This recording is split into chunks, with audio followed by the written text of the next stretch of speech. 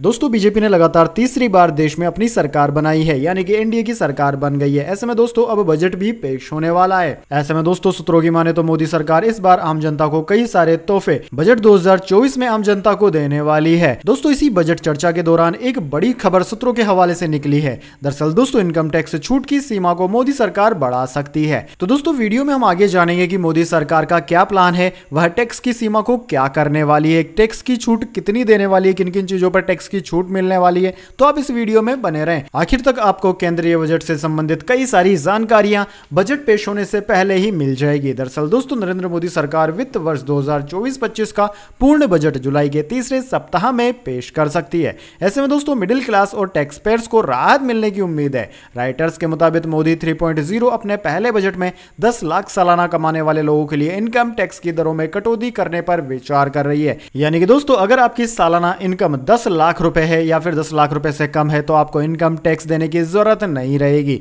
इसके अलावा दोस्तों, सरकार इनकम टैक्स सेलेब में भी बदलाव करने की प्लानिंग कर रही है। चुनावी साल होने के चलते वित्त मंत्री निर्मला सीतारमण ने एक फरवरी को फाइनेंशियल ईयर 2024-25 के लिए अंतरिम बजट पेश किया था। तब वित्त मंत्री ने इनकम टैक्स से जुड़ी कोई बड़ी घोषणा नहीं की थी। सूत्रों के हवाले से खबर है कि टैक्स छूट की सीमा पाँच लाख कर सकती है सरकार। दरअसल दोस्तों बजट में सरकार यह राहत एक खास सैलरी वर्ग और मिडिल क्लास को दे सकती है। वहीं मनी कंट्रोल ने सरकारी सूत्रों के हवाले से बताया कि सरकार बजट में इनकम टैक्स छूट की सीमा को तीन लाख से बढ़ाकर पाँच लाख कर सकती है। यह बदलाव केवल नई टैक्स रिजीम के तहत रिटर्न फ़ाइल करने वालों पर लागू होगा। वहीं दोस्तों, नई टैक्स रिजीम में तीन लाख तक की आय अब टैक्स फ्री कर ली जाएगी। यानी कि दोस्तों, मान लीजिए किसी की सालाना इनकम पाँच लाख रुपए है। नई टैक्स रिजीम में तीन लाख रुपए तक की आय टैक्स फ्री है। ऐसे में बचे हुए दो लाख रुपए पर उस व्यक्ति पर पाँच प्रतिशत के हिसाब से टैक्स देनदारी बनेगी। यानी कि उसे दस हज़ार रुपए टैक्स चुकाना होगा। हालाँकि इस रिजीम में सरकार साढ़े सात लाख तक की इनकम पर टैक्स को सेक्शन 87 ए के तहत माफ़ भी कर देती है।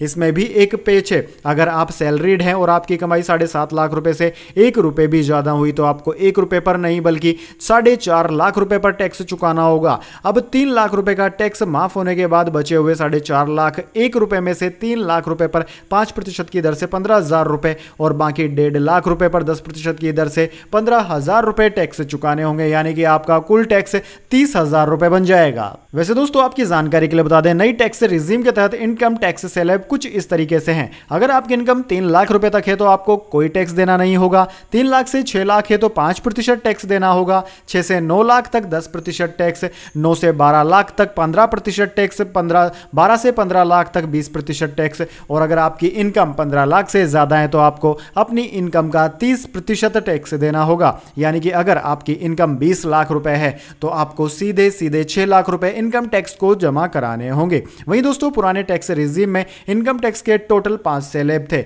जिनमें ढाई लाख तक इनकम टैक्स फ्री होती थी, ढाई लाख से पाँच लाख तक इनकम पर पाँच प्रतिशत, वहीं पाँच लाख से दस लाख तक की इनकम पर बीस प्रतिशत टैक्स, और दस लाख से बीस लाख तक की आय पर तीस प्रतिशत टैक्स लगता था, और बीस लाख से ऊपर कमाने वालों को तीस प्रतिशत टैक्स चुकाना होता था, जबकि नई टैक्स रिजीम में अभी तक सात लाख रुपए तक की सैलरी टैक्स फ्री के दायरे में आती है। रिपोर्ट्स के मुताबिक बजट में दस लाख रुपए तक की इनकम वाले स्ट्रक्चर में बदलाव की उम्मीद है। अभी दस लाख तक की सैलरी पर सीधे बीस प्रतिशत टैक्स लगता है। सरकार इसमें बदलाव कर सकती है। दस लाख तक की इनकम पर बीस प्रतिशत टैक्स घटाकर दस प्रतिशत किया जा सकता है। इसके अलावा तीस प्रतिशत वाले टैक्स सेलेब को बदलने पर भी विचार किया जा रहा है। वैसे दोस्तों, कमेंट करके बताइए, आपकी क्या राय है? क्या सरकार को दस लाख रुपए तक की इनकम को टैक्स फ्री कर देना चाहिए या नहीं? या फिर कितने लाख तक की इनकम को सरकार टैक्स फ्री करे? कमेंट बॉक्स में अपनी राय ज़रूर दीजिए। साथ ही दोस्तों, अगर वीडियो आपको पसंद आई तो वीडियो को लाइक करना ना भूलें। साथ ही चैनल को सब्सक्राइब करके बेल आइकन भी दबा लीजिए। धन्यवाद। वंदे मातरम। जय हिंद। जय भारत।